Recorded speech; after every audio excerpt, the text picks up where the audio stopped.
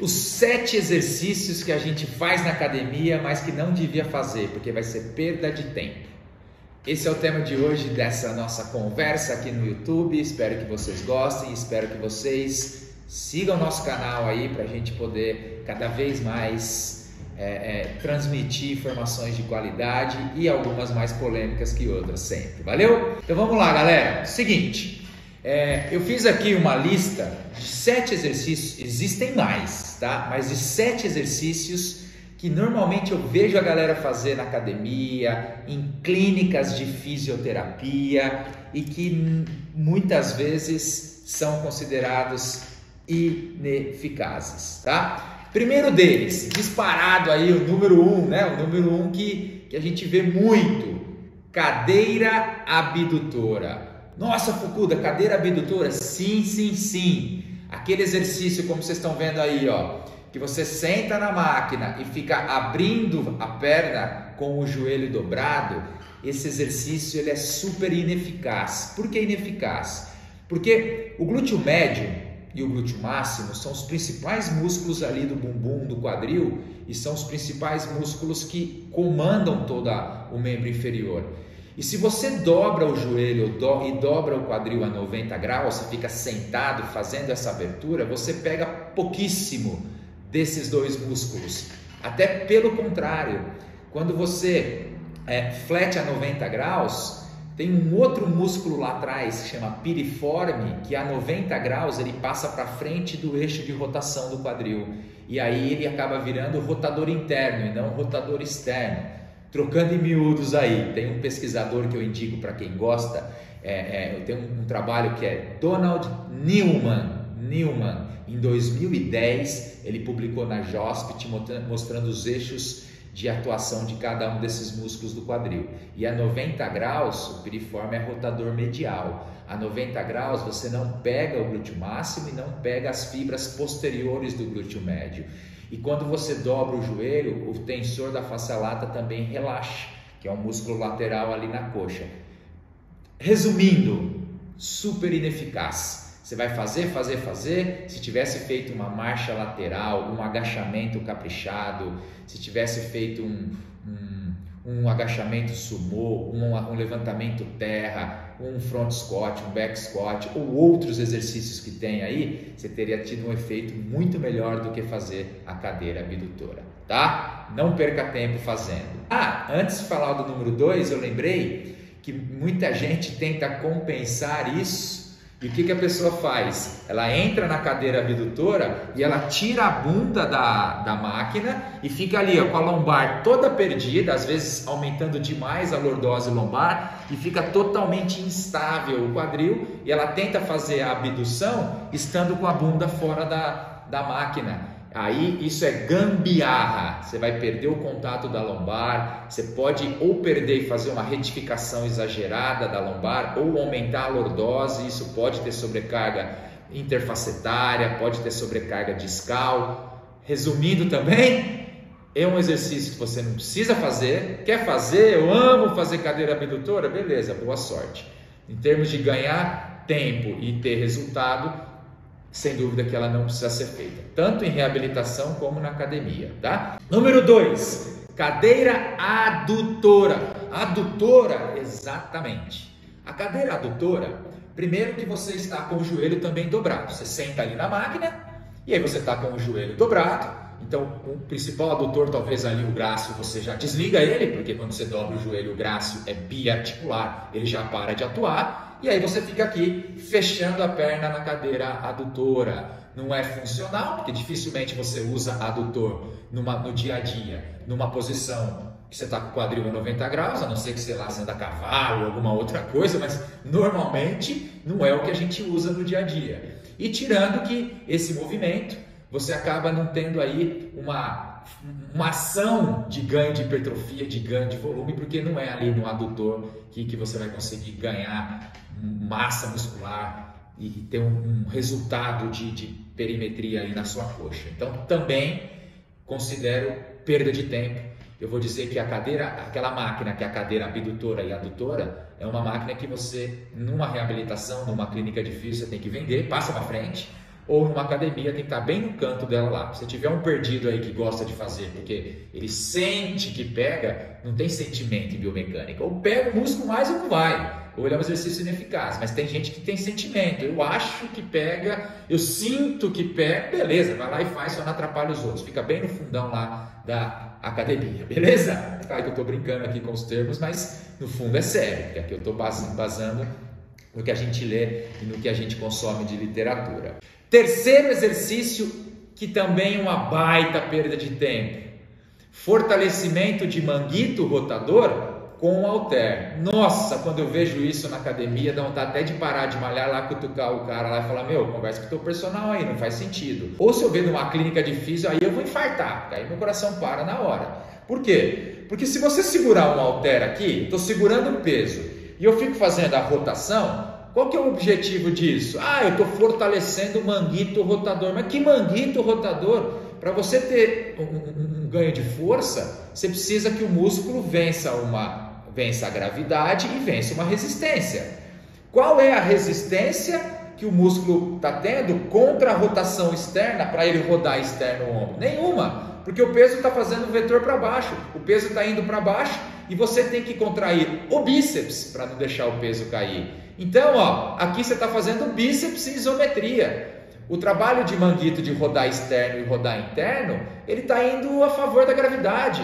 Você não está colocando ele deitado e indo contra a gravidade, você está colocando em pé. Então, fazer isso aqui com halter é uma baita perda de tempo quando você quer fortalecer manguito rotador, que é um baita grupo de músculos estabilizador do ombro. Beleza? Pula fora disso. Número 4, esse aqui é polêmico. Alongamento de cadeia posterior. O que, que é isso, Fukuda? Olha aqui as fotos ó, embaixo. Você deitar lá o cara, pegar uma faixinha e ficar lá, segurando a faixinha por um minuto. Ou, pior ainda, quando quer enrolar ali na aula, na academia, para ganhar tempo, põe, põe o peão ali com a perna estendida e vai aqui você por trás e fica empurrando a coluna dele para frente para alongar isquiotibiais, para alongar a posterior. Vamos lá entender um raciocínio. Quando a gente vai usar uma técnica, um exercício, uma abordagem, não são os pesquisadores, não são os estudiosos que têm que falar por que, que não deve se utilizar. A gente está invertendo a ordem. É como se fosse o poste mijando no cachorro. Está invertendo a ordem. É quem usa aquele exercício, é quem faz aquela técnica que tem que explicar o porquê está fazendo. Então, se o, se o, sujeito for um jogador de futebol, beleza, alongar a cadeia posterior. Depois que ele chuta a bola, a perna vai, talvez ele precise de uma cadeia posterior alongada. Se ele é ginasta, se ele é, se ele luta, que chuta a cabeça de alguém, se ele faz dança, que precisa dessa flexibilidade, balé, sei lá, aí sim você fazer um trabalho de alongamento. Agora, um, um, um cara que corre, um cara que, que faz como eu aí, sei lá, musculação, ou um cara que gosta de fazer um, um crossfit, um cara que gosta de fazer um funcional, um cara que pedala, tá? Para que, que você vai alongar a cadeia posterior dele? Qual o momento no dia dele, ou na atividade física dele, que ele faz um movimento espacate, que ele faz uma abertura a ponto de precisar de flexibilidade? Nenhum. Então, para que você vai gastar tempo? Toda sexta, você gasta 10 minutos ali alongando. E a mesma coisa eu falo para o treino. O treino vai ficando longo, por quê? Porque vai se inserindo essas enrolações para ficar uma hora completa de um treino na academia, ou no caso de uma é, sessão de fisioterapia, mas se faz uma coisa que, que, que não tem muita lógica em fazer, que não tem ganho funcional nenhum. Então, para para pensar também nisso tanto para quem trabalha com o público, como o próprio público que recebe aquela técnica, tá bom? Aquele exercício. Vamos lá! Número 5, cadeira extensora. Ô, Fukuda, que isso? Tá louco? Não, calma. Não é que a cadeira extensora é um exercício ineficaz. Eu tenho e uso muito na minha clínica, nas minhas clínicas, tá? Eu digo a cadeira extensora, aquelas pessoas que fazem o movimento e vão lá e segura a perna esticada segura a extensão, ó, ó, ó, fica lá segurando, segurando e depois desce. Quando você estica a perna na cadeira extensora, ainda mais com muita carga, Próximo da extensão total, próxima do zero que a gente chama, ali é uma angulação que aquele ossinho na frente do joelho a patela, ele está bem descolado do, do sulco troclear. Então a área de contato nesse momento é muito pequena em extensão total. E nessa área de contato pequena, a pressão ali é absurda, é grande machuca a cartilagem retropatelar. Ainda mais quando você vai lá e põe a máquina inteira de carga. Ainda mais quando você vai lá e manda alguém lá e fazer força empurrando para baixo. Mesmo em pessoas saudáveis, sem dor, essa angulação de ficar segurando ali é extremamente criminosa. Não se deve fazer isso. Faça a cadeira extensora, bateu, volta. Não fica segurando isometria lá. Então não é que eu estou condenando aqui a cadeira extensora, eu estou condenando ficar fazendo a isometria nessa angulação. Pô, Fucuda, eu sempre fiz e não tive dor. Calma, uma hora você vai entender o que eu estou falando. Continua fazendo para você ver. Claro, tem gente que vai fazer isso a vida inteira e não vai ter problema, mas eu lido com pessoas que já estão com dor anterior, que já têm algum problema. E a gente tem que nortear o que é melhor para o nosso cliente, para o nosso paciente. Beleza? Vamos para número 6 cadeirinha. Olha esse exercício. Vai lá o sujeito e ele vai lá e põe as costas na parede e ele senta como se estivesse numa cadeirinha sem cadeira, né? Na verdade, ele simula que está sentado com as costas na parede e fica ali com o joelho e o quadril a 90 graus.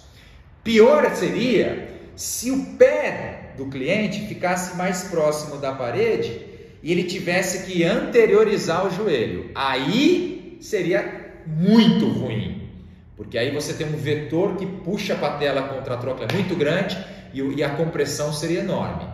Então, se a pessoa não tem dor no joelho, ela vai ter se você ficar fazendo esse exercício e mantendo a isometria um tempão.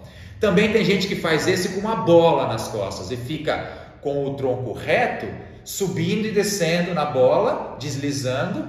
E aí, quando você faz essa parada a 90 graus, que a gente chama de cadeia fechada tecnicamente, mas como aqui é um vídeo para a galera que não é da área, quando você está com o joelho dobrado a 90 graus, no agachamento, parar ali é uma angulação que não é, é, é desejável. Por quê? Porque você parar a 90 graus é uma angulação que comprime muito o joelho, por isso que dói quando você fica parado ali. Você pode agachar fundo, agachamento é o melhor, eu vou fazer um vídeo sobre agachamento, esperem. É o melhor exercício que tem para membro inferior, é o melhor.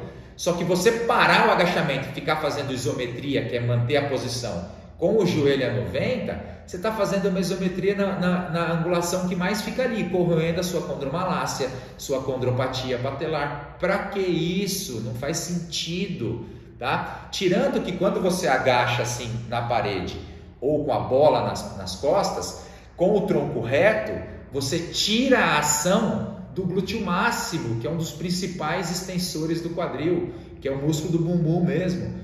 E quando o glúteo não, não é usado, você está fazendo um exercício que tira dele, tira a ação do principal músculo junto com o quadríceps. Para que, que você vai tirar a ação desse cara e querer isolar o exercício só para o quadríceps? Ah, Fukuda, mas eu quero usar só o quadríceps. Puxa vida, mas você vai ter que usar o quadríceps numa angulação que machuca a cartilagem, sendo que tem tantas outras para você. Você pode fazer o movimento completo, para que ficar parando e fazendo a cadeirinha em isometria? Também eu, modestamente aí, considero, na minha opinião, totalmente ineficaz, perda de tempo se fazer isso. Beleza? Sétimo é, erro ou exercício bobo assim que a gente faz e que não tem lógica nenhuma. SLR. Olha isso aqui, ó. O sujeito deita, dobra um joelho e o outro joelho ele deixa reto ele põe uma tornozeleira aqui, uma caneleira com peso que vai de 1, 2, 3, 5 quilos e fica subindo e descendo a coxa. Você está fortalecendo o que, meu amigo, minha amiga? O que, que você está trabalhando com esse exercício? Nada. Na verdade, você está trabalhando um músculo que chama ilipsoas, que é o músculo lá que faz flexão do quadril lá em cima. Mas quem faz esse exercício achando que está fortalecendo o quadríceps, que é o músculo anterior da coxa, não está. Máxima alemã ele usa um pouquinho do reto femoral, que é biarticular, mas o reto é um músculo que não dá o volume, né? É o conjunto do quadríceps que dá o volume. Então, ficar fazendo SLR, não vejo sentido nenhum perder tempo com ele na reabilitação ou na academia. É diferente quando o sujeito operou o joelho, que ele tem um negócio chamado sinal de lag, que é uma insuficiência lá por inibição artrogênica da coxa, isso é uma coisa. Aí a gente até usa por uma ou duas semanas para saber travar o joelho para poder melhorar a marcha. Agora, ficar fazendo isso no sujeito na academia ou um sujeito que já está reabilitando numa clínica, você ficar fazendo esses exercícios não vai levar a lugar nenhum, tirando que tem uma autora chamada Cara Lewis, ela tem uma porrada de trabalho entre 2010 e 2015 que ela já mostrou que esse exercício, para quem tem qualquer tipo de sinal de impacto do quadril ou de lesão de labro no quadril, ele é extremamente lesivo. A gente não deve fazer em quem tem desconforto no quadril. Então, arranque isso aí daí, arranque isso aí daí e, e, e vão para outros que, que em próximos vídeos, óbvio, eu vou dar também o caminho das, das pedras aí para a gente ter exercícios que são eficazes. Na verdade, todos os outros, tirando esse, é eficaz tem, tem bons resultados de massa, de, de controle, tem muita coisa boa na academia. E, apesar de não estar aqui dentro desses sete, eu deixo uma mensagem final, não, não menos importante, que é a caminhada ou step. Ô Fukuda, você está falando que caminhada é ruim? Depende do objetivo. Se a pessoa não consegue fazer nada, é um senhorzinho, é uma senhorinha, tá, tá, tá, um sedentário que quer começar uma atividade, beleza, é alguma coisa. Agora, você falar que aquilo que você põe na esteira 2 km por hora, 3, e fica andando ali ouvindo música ou, ou assistindo Netflix, ou que você vai para o parque caminhar e fica lá andando, batendo papo com aquelas caminhadinhas, isso não vai levar a lugar nenhum. Nem em termos de aumento de frequência cardíaca para você começar a ter é, queima de gordura, é, condicionamento cardiovascular também não vai melhorar muita coisa essas caminhadinhas de bate-papo, caminhadinha de shopping. Você, é claro que a gente parte do pressuposto que qualquer pessoa que está num ambiente de academia, ela fez um check-up cardiológico, tal, tal, tal, não tem problema cardíaco, né? Diferente quem infartou, uma caminhada para ele é excelente. Estou falando em pessoas que estão aí, que não, não são cardiopatas.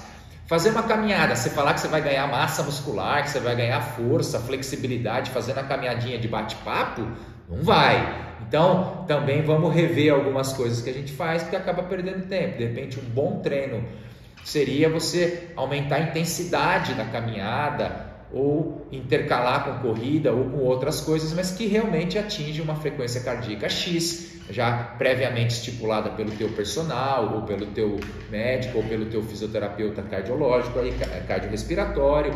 Você já tem um objetivo de aumento de frequência, né? de pressão, tudo isso aí sim faz sentido. Agora, ficar caminhando, batendo papo no, como se estivesse no shopping, perda de tempo, não vai ganhar nada, não vai emagrecer também, tá? Não vai ter queima de gordura. Os estudos aí já mostram isso, tem muita gente boa pesquisando e mostrando que, ó, tanto é que hoje que está em moda é o HIIT, é a alta intensidade para queima de gordura, tá bom? E o step também é outro, hein?